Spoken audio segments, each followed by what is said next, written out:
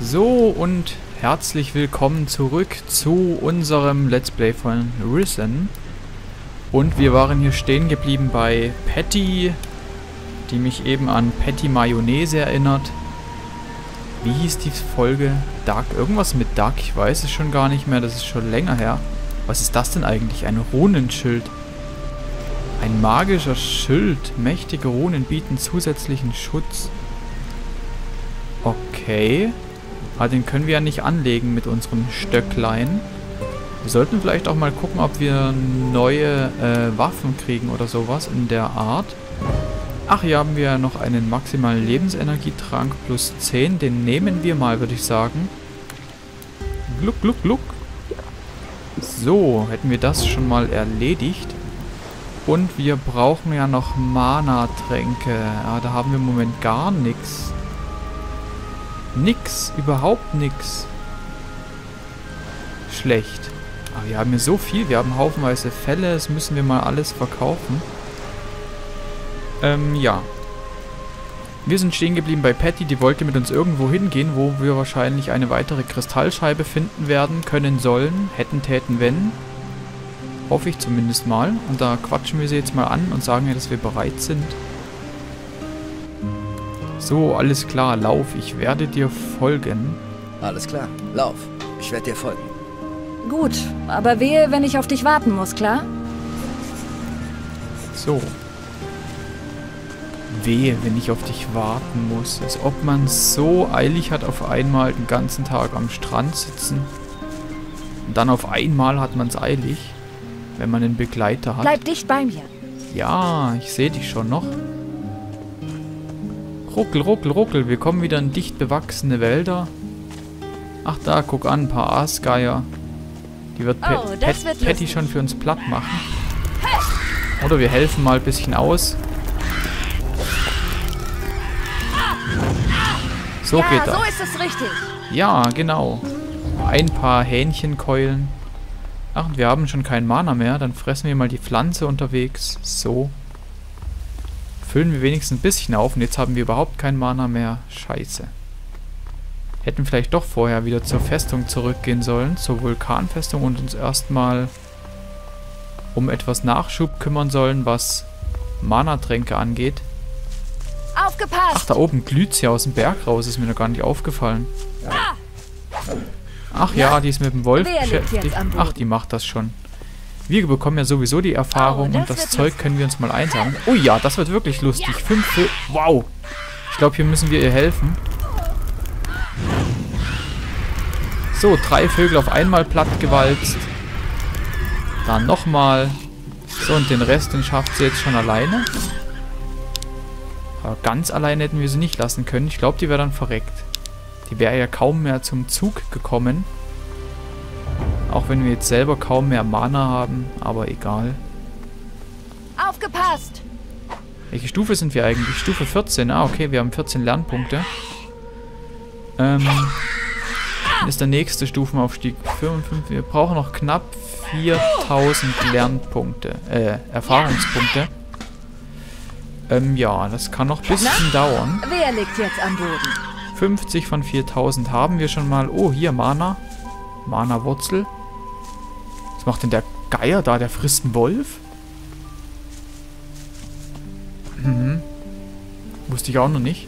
Komm weiter. Ja, bin ja hinter dir. Aufgepasst! Hey! Ach, schön. Schöne Motte. Ui, der hast es aber gegeben. Gib her den Flügelstaub. Den können wir später verticken. Wo rennt denn die hin? Wollen die etwa alle zum Banditenlager oder was? Kann ich mir kaum vorstellen. Dumm, dumm, dumm. Ach, da fällt mir ein, wir sollten ja auch irgendwann einmal nochmal zu dem Bauernhof da drüben, nehme oh, ich an. Also wenn es der Bauernhof ist. Ich weiß nicht, ob es noch andere gibt. Na, damals, wo wir in der Hafenstadt waren, da hatte die eine Frau, die für diesen einen Händler gearbeitet hat und nicht mit in dessen Haus durfte. Ja, irgendwie von ihren drei Söhnen erzählt oder Irgendetwas, was sie versteckt hat oder verstaut hat und das soll auf irgendeinem Bauernhof liegen. Aber das hier ist der einzige Bauernhof, den ich kenne. So, ach, dieses Ruckeln immer, das ist ja... Kacke ist das. So, Patty, lauf mal voran. Wie hieß denn die Serie? Die fällt mir nicht ein. Hieß die einfach nur Dark? Hm.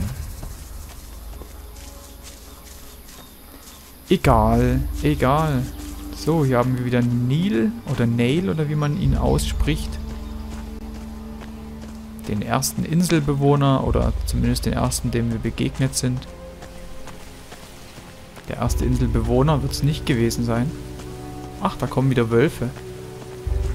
Aber wieso kommen jetzt auf einmal so viele Wölfe her? Wir sind doch nicht im nächsten Kapitel oder so und wir waren doch vorhin erst hier bei den Banditen. Oder vorher. So, 60 Erfahrungspunkte, ein Stück Fleisch und ein Fell. War das alles? Ui, der flog aber. So, dann geht's mal weiter. Hm. Ach, hier ging es zum Banditenlager rechts und wir gehen jetzt oben lang. Okay, das ist ein neues Gebiet, hier waren wir noch gar nicht. Ach du Scheiße, wo geht denn die hin? Lauter Totenköpfe hier oben. Was ist das? Aufgepasst! Ein Friedhof am helllichten Tag? Was? Und Skelette am helllichten Tag?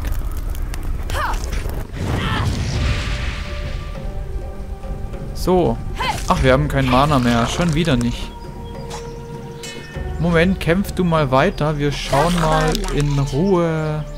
Äh, Lebensenergie, Mana plus 30. Ja, die eine können wir gleich essen. Und dann legen wir uns mal die 20er hier auf Vorrat. Bleib dicht bei mir. Ui, der hatte drei Heiltränke bei sich. Hier ist doch wieder eine Ruine oder Höhle oder irgendwas. Und Moment, hier ist eine Schaufel. Kann man hier graben?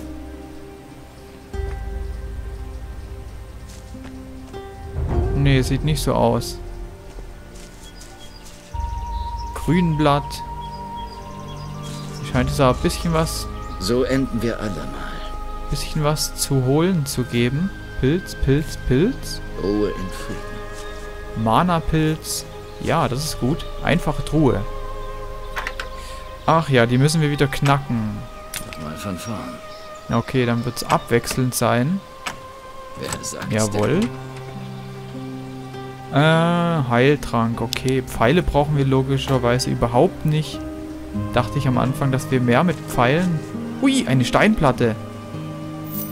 Ihr wisst, was das heißt. Wir können jetzt unsere 100 Weisheit voll machen. Und dann später, wenn wir wieder zurück sind, ähm, das zweite Siegel erlernen. Ach, was für eine malerische Aussicht. Äh... So, gucke mal einer an. Ach hier, das Essen, was wir uns gebraten haben, das gibt ja auch Mana. Wusste ich noch gar nicht. Novizentopf, da können wir uns im Prinzip auch Essen machen. Ähm, wo ist denn jetzt die Steinplatte? Hier bei Schriftstücke müsste die sein. Hm, interessant. So, Weisheit plus 4 und jetzt haben wir 103 Weisheit. Sehr gut. Und für das letzte und dritte Siegel, glaube ich, brauchen wir dann 150 Weisheit. Also noch 47. So, wir sind wohl schon angekommen, wie es aussieht. Die läuft auch nicht mehr weiter. Gibt es hier noch irgendwas zu holen? Eine Bank, ein Grabstein? Sieht nicht so aus. Was wollen wir hier? So, hier muss es sein. Ähm, und was machen wir jetzt? Und was machen wir jetzt? In einem dieser Gräber ist der nächste Hinweis meines Vaters versteckt. Hier, ich gebe dir diesen Schlüssel. Er ist ein Geschenk meines Vaters. Damit sollten wir an den Hinweis herankommen. Aber frag mich jetzt nicht wie. Mehr weiß ich auch nicht. In Ordnung. Ich mach das schon. Na gut. Aber verlier den Schlüssel nicht, klar? Keine Angst. Pattys Passepartout haben wir erhalten. So, wir müssen jetzt Gräber buddeln, oder was? Ach hier, das sieht nach einer rauen Stelle aus. Hier ist was vergraben. Ach, ich wollte schon sagen, will er jetzt mit der Hand buddeln? Ne, jetzt nimmt er die Schaufel. So, dann schaufeln wir mal eine Leiche aus. Oder was wir auch immer da drin finden werden. So, jetzt zieht er wieder irgendwas Mächtiges hoch, habe ich das Gefühl. Mit bloßen Händen und bloßer Muskelkraft. Eine ziemlich verrottete Schatzkiste, wie es ausschaut. Ach, eine alte Schatulle. Der Name Stahlbart ist auf der Schatulle eingeritzt. Eine Kiste in einer Kiste. So, ist es das, was du suchst? Hier, ich habe diese Schatulle in einem der Gräber gefunden. Hier, ich habe diese Schatulle in einem der Gräber gefunden. Lass mal sehen. Hm. In der Schatulle ist etwas. Ach ja, ich verstehe. Das ist er. Der nächste Hinweis. Das ist ja großartig. Das ist ja wie eine Schatzsuche hier. Raus mit der Sprache. Was steht da drin? Raus mit der Sprache, was steht da drin? Hm, ich weiß nicht. Kann ich dir vertrauen? Klar doch. Du könntest genauso gut mit diesem üblen Piratenkapitän Romanov unter einer Decke stecken. Nee, du hast gar keine Wahl. Mich wirst du nicht mehr los. Du hast gar keine Wahl. Mich wirst du nicht mehr los. Also gut. Halt die Klappe und hör mir zu. Mein Vater hat einen großen Teil seines Goldes, das er über die Jahre erbeutet hat, hier auf dieser Insel versteckt. Die Hinweise, die er hinterlassen hat, führen zu seinem großen Schatz. Mhm. Tja, ein Pirat, der sein Gold vergräbt, wie originell. Da hätte ich auch drauf kommen können. Nicht nur du. Mir ist ein ganzer Trupp Schurken auf den Fersen, die genau das Gleiche vermuten. Romanov. Ganz genau. Also, wenn wir nicht vorsichtig sind und uns beeilen, wird uns der Mistkerl den Schatz vor der Nase wegschnappen. So, jetzt verstehst du hoffentlich, warum ich nicht jedem davon erzähle. Ja. Ähm, was denkst du eigentlich, hat Romanov jetzt vor? Was denkst du, hat Romanov vor? Eins kannst du mir glauben. Auch wenn du ihn nicht sehen kannst, wird er trotzdem ab jetzt immer einen Schritt hinter uns sein. Er weiß von dem Schatz. Und er weiß auch, dass ich ihn suche. Wenn wir nicht aufpassen, ist es nur eine Frage der Zeit, bis wir Probleme mit Romanov und seinen Jungs bekommen. Mehr kann ich dir dazu leider auch nicht sagen. Ich kann ja leider nicht in seinen Kopf schauen. Schade. Und wo ist dein Vater eigentlich? Wo ist dein Vater eigentlich? Keine Ahnung. Ich habe ihn schon sehr lang nicht mehr gesehen. Vielleicht zieht er über die Meere. Vielleicht sitzt er in irgendeiner Zelle. Oder er vergnügt sich mit den Mädchen in irgendeinem anderen Hafen. Sowas hat er immer getan. Er war nie das, was ein Vater sein sollte. Ich glaube schon, dass er sich um mich Sorgen macht. Doch nie ist er wirklich für mich da, wenn ich ihn brauche. Aber warum erzähle ich dir das eigentlich? Weiß nicht. Aber ich fand's interessant. Von mir aus soll ihn der Gürger holen. Ich jedenfalls nehme mir jetzt, was mir zusteht. Und niemand, nicht einmal Romanov, wird mich daran hindern. Tja, dass ihn der Gürger holt, ist jetzt schlecht. Den haben wir schon erledigt. Ähm, ja, was weißt du über die goldene Kristallscheiben? Was weißt du über goldene Kristallscheiben? Was soll das sein? Artefakte? Hm, Ja, richtig. Sie stammen aus den Ruinen, die aus dem Boden geschossen kamen. Noch nie davon gehört. Warum willst du das wissen? Mein Vater ist doch eine Zeit lang auf dieser Insel ziemlich weit rumgekommen.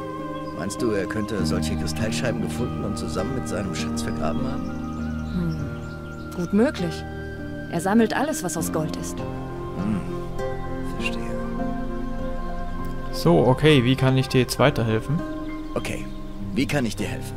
Die Schatulle enthält einen Hinweis darauf, wo sich der Schatz meines Vaters befindet. Aber da gibt es noch mehr. Hier ist der Vermerk von fünf weiteren Gräbern. Augenscheinlich sind sie nicht von besonderer Bedeutung. Aber wie ich meinen Vater kenne, hat er den Schatz mit einer miesen Falle gesichert, die nur mit einem Passwort oder so etwas zu entschärfen ist. Ich wette, dass wir dieses Passwort irgendwo in den namenlosen Gräbern finden werden. Na, großartig. Klingt nach einer Menge Arbeit. Ich mache dir folgenden Vorschlag. Wir teilen uns die Arbeit. Du gehst und untersuchst die namenlosen Gräber, während ich hier versuche herauszufinden, wo sich der Schatz meines Vaters genau befindet. Ja toll, dann machen wir wieder die ganze Kundschafterarbeit und Herumrennerei. Toll, du sitzt hier rum und ich habe Romanov am Hals. Toll, du sitzt hier rum und ich habe Romanov am Hals. Jetzt pass mal auf, du Held. Erstens, du würdest aus den Hinweisen meines Vaters sowieso nicht schlau. Und zweitens, wenn dir das nicht passt, kannst du gerne wieder gehen. Finde ich gut. Was? Jedes Mal, wenn du explodierst, sagst du Held zu mir. Ach, lass den Unsinn. Wir haben schon viel zu viel Zeit vertrödelt.